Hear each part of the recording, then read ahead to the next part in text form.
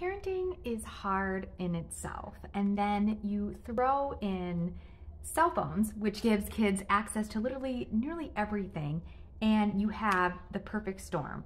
This is really tough to navigate because it can spiral really quickly and your kids can come home one day from school and just say, Mom, quick, I need a phone. All my friends have this.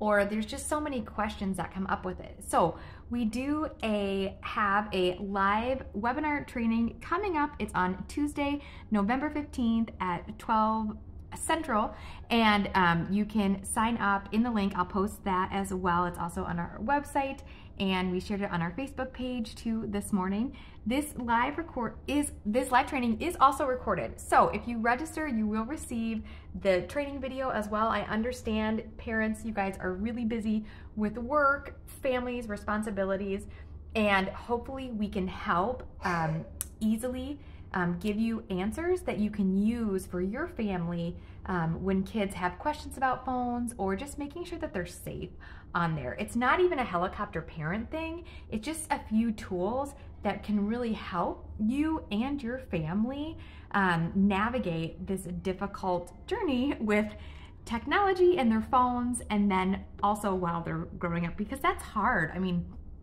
adolescence and growing up and being teenager is hard enough, but it really helps when you can have a couple of tools in your toolbox to navigate this um, and then teach them, you know, technology independence and not have to worry about them when they're 18 and they leave the nest. So hope to see you guys then. We have our upcoming webinar training coming up for cell phones and parenting on Tuesday, November 15th at noon central. Thanks everybody.